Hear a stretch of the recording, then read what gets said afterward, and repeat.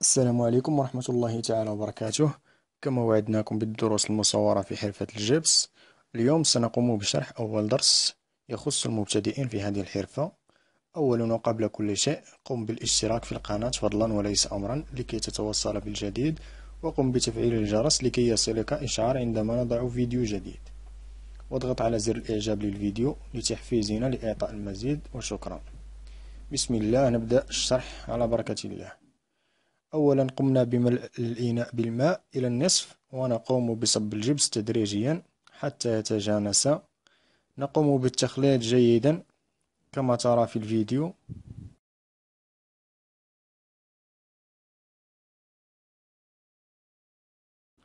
ولقد سبقنا ورتبنا مكان العمل.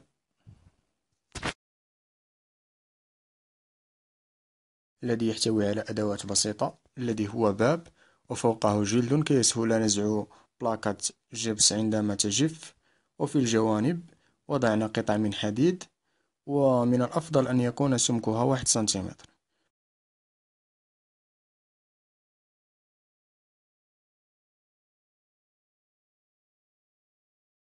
بسم الله نقوم بصب الجبس تدريجيا.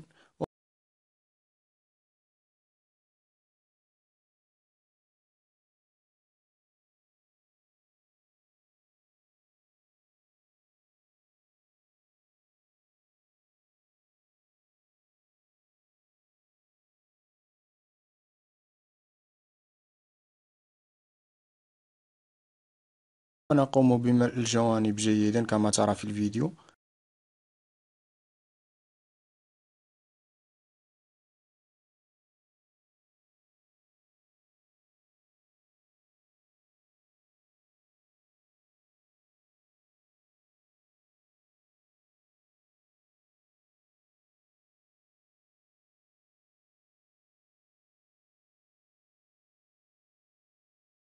نضع خيوط الفلاس كما هو معروف عندنا في المغرب يجب أن يوضع جيدا كما ترى.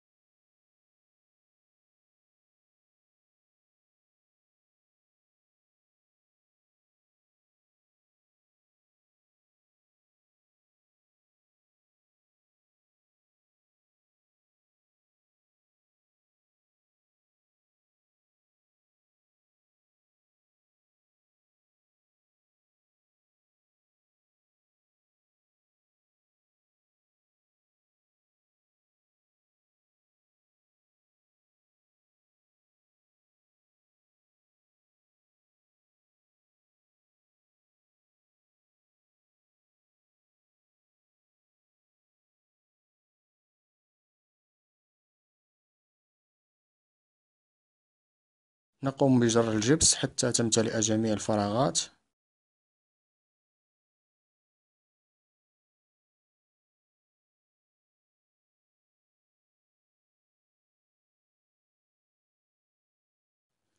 وفي الأخير نقوم بتشريطه بالمنشار.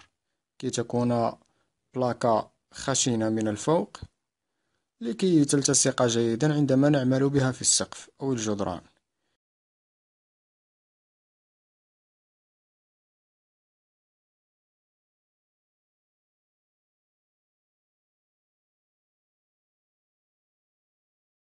إلى هنا نكون قد انتهينا من شرح هذا اليوم. أتمنى أن يستفيد الجميع. شارك الفيديو مع أصدقائي إلى الحلقة المقبلة. السلام عليكم.